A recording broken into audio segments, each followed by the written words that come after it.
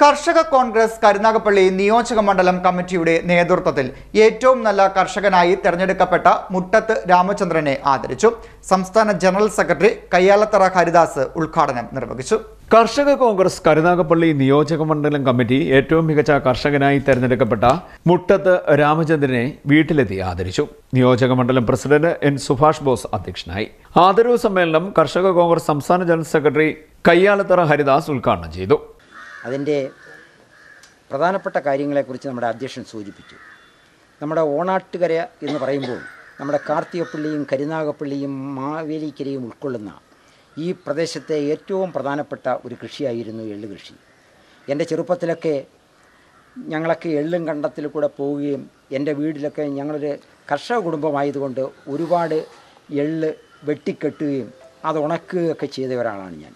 അപ്പോൾ ഇപ്പോൾ അന്യം നിന്നിരിക്കുന്ന ഒരു കൃഷിയാണ് എള്ള് കൃഷി ഇവിടെ സുഭാഷ് ബോസ് പറഞ്ഞതുപോലെ വളരെ നമ്മുടെ മരണാനന്തര ചടങ്ങുകൾക്ക് പോലും ഇപ്പോൾ എള്ള് ദൗർലഭ്യമാണ്. അതൊക്കെ അങ്ങാടിക്കടയിൽ പോയി മേടിക്കേണ്ട ഒരു സാഹചര്യമാണ്.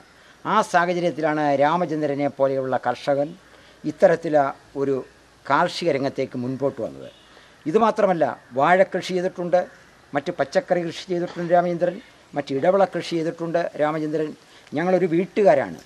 ഇപ്പോൾ ഞക്കനാൽ താമസിക്കുന്നെങ്കിൽ പോലും മടത്തിക്കാരാൺമയിലാണ് അദ്ദേഹത്തിന്റെ ജനനവും എന്റെ വീട് തന്നെയാണ് അദ്ദേഹത്തിന്റെയും വീട് അപ്പോൾ അത്തരത്തിലുള്ള ഒരു കർഷകനെ നമ്മൾ ആദരിക്കുന്നു. അതായത് നമ്മുടെ ഈ ഓണാട്ടുകരയുടെ പ്രദേശമായ ഈ ചേനാട്ടുശ്ശേരി വയലിന്റെ ഈ പടിഞ്ഞാറെ കരയെന്ന് പറയുന്നത് താളും തകരയും ആനത്തൂവയും ചെമ്പകവും ചേമന്തിയും ചിറ്റാടയും മുക്കുറ്റിയും കണ്ണാന്താളിയും മാത്രമല്ല രണ്ട് പൂ നെൽകൃഷിയും എള്ളു കൃഷിയും ചെയ്തിരുന്ന മനോഹരമായ ഒരു പ്രദേശമാണ്. ഈ പ്രദേശത്ത് എല്ലാം കൊണ്ട് സൗഭാഗ്യം നിറഞ്ഞ ഒരു പ്രദേശമാണ്. നമ്മളാരും കൃഷിയിലേക്ക് തിരിയുന്നില്ല. കാരണം പ്രധാനപ്പെട്ട ഒരു കാര്യം അത് ലാഭകരമല്ല എന്നതുകൊണ്ടാണ്. പക്ഷേ രാമചന്ദ്രനെ പോലെയുള്ളവർ അത് ലാഭം നഷ്ടം നോക്കിയല്ല. ആ കൃഷി ചെയ്യുവാനുള്ള ഒരു സംസ്കൃതി അത്തരത്തിലുള്ള ഒരു വലിയ മനസ്ഥിതി രാമചന്ദ്രൻ ഉണ്ടായിട്ടുണ്ട്. ആ രാമചന്ദ്രനെ ഞങ്ങളിവിടെ ആദരിക്കുക ഇങ്ങനെ കൂടിയത് അപ്പോൾ ഇവിടുത്തെ മണ്ഡലം പ്രസിഡന്റ് അദ്ദേഹം ഇന്ന് ഒരു ഹോസ്പിറ്റൽ കേസുമായിട്ട് എറണാകുളത്ത് പോയിരിക്കുകയാണ്.